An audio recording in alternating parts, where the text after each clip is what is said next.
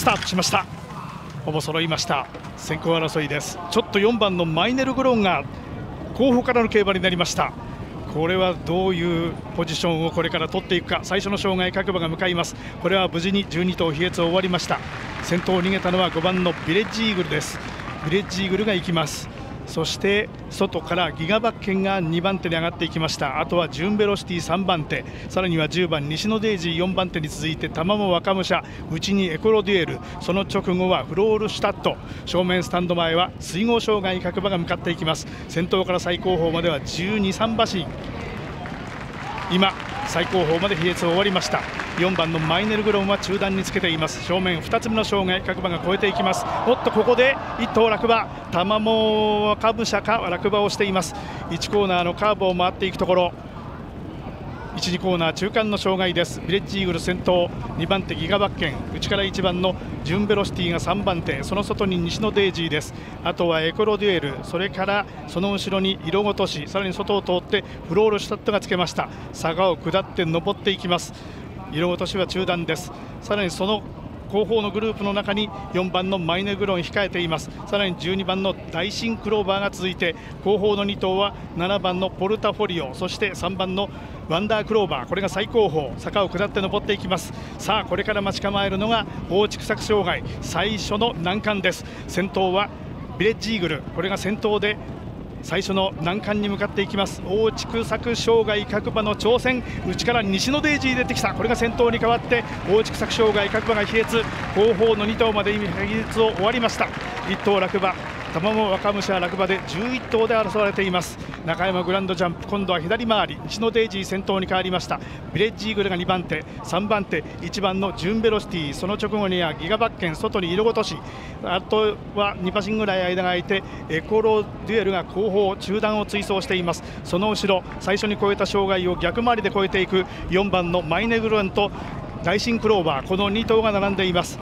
あと後方はちょっと離れました。11番のフロールシュタット。そして最高峰離れて3番のワンダークローバーです。坂を下って登っていきます。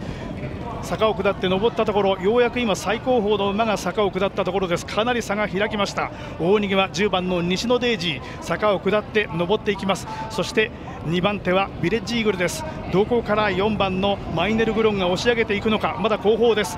さあこれから大池垣障害に向かいます。西野デイジー大きな逃げで大池垣。2つ目の難関無事に比叡ビレッジイーグル。そしてその直後に色ごとしが上がってきている。後方3番のワンダークローバーまで比叡終わって難関2つは全部11頭がクリア。そして西野デイジー先頭で正面スタンド前。高い比叡ビレッジイーグル。そして色ごとし1番のジュンベロシティ続いている。まだ4番のマイネグロンは中段先頭までは10馬身以上の差があります。1、2コーナー中間の障害を比叡今、最後に正面スタンド前の障害をポルタフォリオが飛び越えたところですがこれはだいぶ離れました。11頭大きく縦長になって坂を下って登っていきます。向こう上面に入ると今度は外回りコースです。さあ西のデイジーのリードはまだ34馬身あります。2番手にはビレッジイーグル。そして3番手連覇を狙う色ごとしが現在3番手です。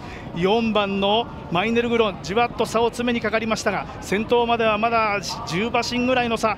さあ向こう上面の奥障害ハードル障害ちょっと西のデイジー低い比叡だった。これをめがけてビレッジイーグルさらに外からは色ごとし前の3頭が固まった。その後は5、6馬身差が開いて1番のジュンベロシティ2番のエコロデュエルその後ろにマイネルグロンです。まだ先頭までは10馬身です。3コーナーのカーブ3コーナーのカーブ先頭は色ごとに変わるか。2番手ビレッジイーグルでこのハードル障害を超えた西野デイジーは3番手に交代。その後ろまだ7、8番審査がありますが4番のマイネルグロンも必死に前を追いかけている。さあこれから4コーナーのカーブだ。2連覇を目指す色ごとしここで先頭に変わったムチが入る。その後の2番手5番のビレッジイーグル。3番手西野デイジー。あとは1番のジュンベロシティ。2番のエコロデール。その後ろに4番のマイネルグロン。これは苦しい。最終障害に向かう。さあ色ごとし先頭。最終障害踏み切って比叡そして2番手はまた2頭3頭が並んでこようとしている。